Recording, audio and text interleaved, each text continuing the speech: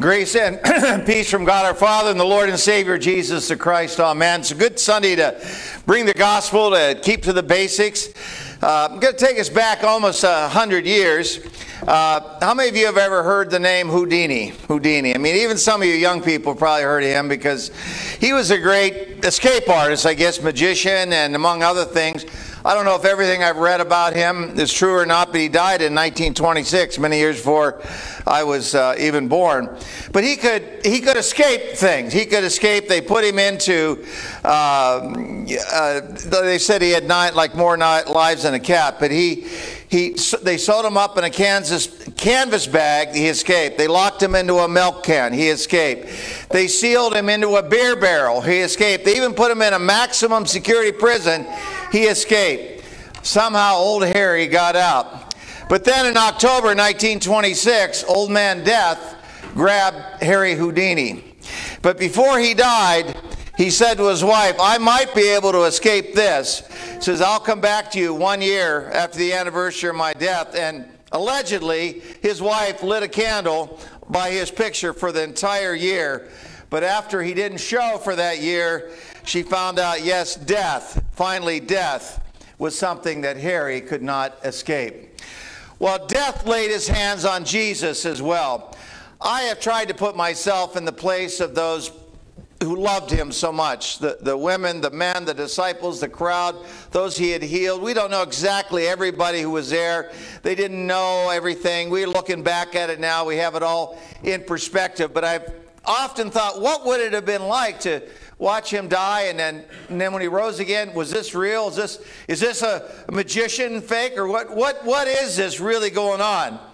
But the scripture tells us indeed that that's exactly what happened we know that he was not and is not behind a tomb, that Jesus right now is before us on a throne. Jesus is on a throne.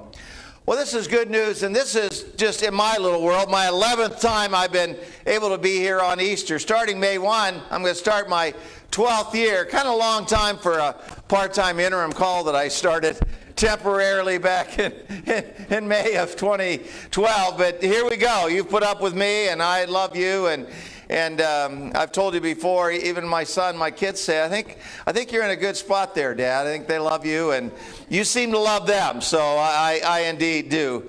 It, it's a wonderful thing. I get invited all kinds of things. Uh, yesterday, I got a note from Scotty Evans. He and Cindy had a lot of their kids and grandkids down in sort of the suburbs of Hay, you know, lower Hay, if you know where that is. And uh, it was fun, you know, and I, I, get invited to things. We're going out to the Schlomers after, and I don't know, we're going to have 30 some people out there. That's going to be great. And by the way, do we have, uh, you have somebody sitting next to you there? Uh, Dr. Shirley Richardson, who uh, is 90 years old plus. How old is Dr. Shirley now? 93, God bless her. But anyway, she's been coming here. I know Terry's been looking out after her. And you are our Easter. We is, uh, hello to Dr. Shirley Richardson. We love you. And she, I think, is our oldest one here, although Ann's just a couple years behind and, and a few others. So uh, Dr. Shirley doesn't often get here. I was able to drop by some uh, last week. Remember, I was there. I gave her a Palm Sunday bulletin and a few palms. That was kind of fun. We had a short, short visit. So glad to have you here. But as I think back, I think of all the the things that have happened here, good and bad. Many, many people have passed on to be with the Lord uh, in those 11, almost 12 years. It's, it's, it's sad when I think of that part. But then when I look at the children we have here and the new life, and isn't that the way it is through Easter? It's the death and resurrection. Uh, I know Pastor Bay, who, you know, God bless his soul, was here 32 years, and I remember he told me once, Pastor John, you know, it seemed like it went that fast. And uh, I, am here six months uh, plus 11 years, and it's gone by that fast. So we know that there is a sense of death and resurrection in our life. It's a great Easter joy. So we mourn today for loved ones lost. And I know on these holidays you think of them. They're your family, your loved ones. Uh, many of our people have lived a long, fruitful life, and we we were grieved at their death, but they had a good life. Others were taken too soon. Uh, as young men, as young women, and we certainly grieve them even more. But we realize on Easter that no one can escape death, not even Houdini, not us. But the good news is the gospel message is Christ is risen and we have life forever. And yet, while we're on this earth, we want to have life here, and we want to hear uh, Linda sing because he lives. And by the way, Linda, as you know, has had some many health issues. She gets up here, she called me, uh, or texted me, and well, I got this cold, I got this and that she comes up here and sings like an angel. Isn't that amazing? I mean, just it's to me that's Easter. It's people doing great things, uh, people who are making a difference, little things that that add up, and we're we're so so glad for that. Now, my sermon title was "What If," and, and have you ever thought about what if this had never happened? What if Jesus uh, hadn't lived, or hadn't died, or hadn't raised from the dead? You fill in your what if what would life be like? And it, it, I don't know, for me it's kind of hard to imagine.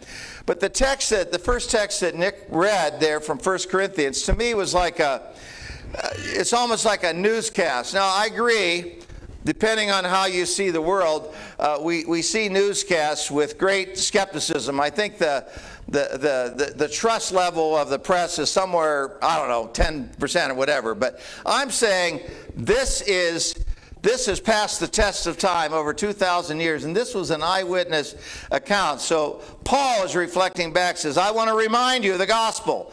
I preach it to you, and you received it, which you have taken your stand. And I think that's what's kept this little church going. We, we've taken a stand. Here we are. We, many of you drove a long way to get here, but something about being here and the stained glass windows and, and the life and the kids and being able to mourn our loved ones, being able to cheer the new ones coming in, it really, really makes a difference. And so we take our stand, and, and Paul went on, by this gospel you are saved if you hold firmly to the word. And part of that is to, is to hold firmly. I don't know uh, about you, but have you ever kind of taken hold of something like a habit, and you're going to do this one thing really, really well, and you kind of let it go. Like, boy, why didn't I keep doing that? I was walking every day, or I was you know, listen to my doctor for once. Uh, overheard Bud Awney. I'll pick on Bud a little bit. He's been going to some therapy. Makes a difference, doesn't it, Bud? Uh, you, even when you're older, a little bit, every little bit helps the physical body. and I would say that every little bit helps our spiritual soul. So, so a special music by Jake maybe even a sermon, maybe a song, maybe a Good Friday. All these things remind us that He is risen, that He is risen indeed. And then Paul went on said, For what I received, I passed on to you. And I kind of feel that's my part in this. I, I'm the preacher, so the main job, according to the Bible, is to preach and teach the, the pastor. So pass it on, the good news. What's most important? Okay, according to Paul, that Christ died for our sins, according to Scripture. I mean, that's pretty much baseline. We don't, we don't want to miss that one. That he was buried, that he was raised on the third day. This, this sounds almost like a creed, much like the Apostles' Creed that we, we read earlier. and after that, he appeared to more than 500 brothers and sisters at the same time most of whom are still living, he said. And then he appeared to James, all the apostles, and last of all, he appeared to me. And Paul's always kind of putting himself down, you know, I'm the least of them because, as we remember, when he was Saul, he persecuted the Christian.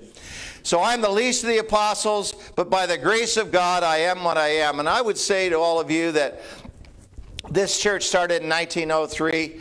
Uh, and I think we, we pray for uh, uh, Marilyn Wally and all the people from way, way, way back, some of your relatives, and the faithfulness they had, and through the teens and the 20s, this is 100 years ago, and this church really has been here ever since, you know, World War I, World War II, you know, the Great Depression, World War II, all the other, quote, wars and all the events, the events of the 60s, all of this, but the church is still here. Why? Because we have made Jesus Christ, that was first. We may be upset about this, this, or this, but Jesus Christ, on Him we make our stand, and that's what keeps uh, this little church and all little churches going.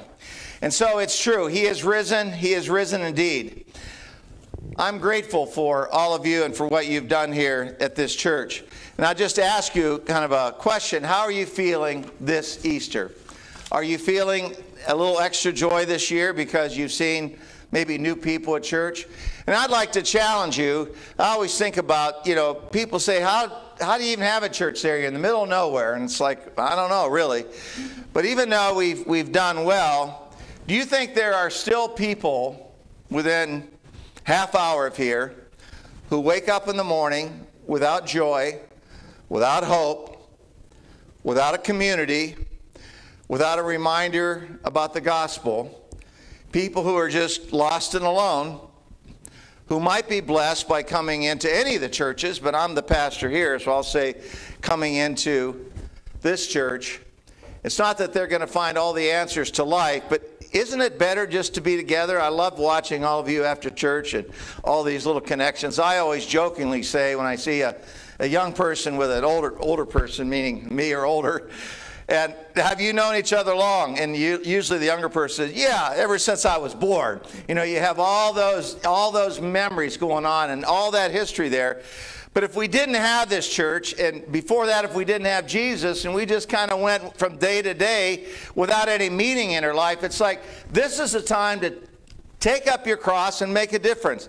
I am discouraged about a lot of things in this world, but what I'm encouraged about is the power that each man, each woman, each child has.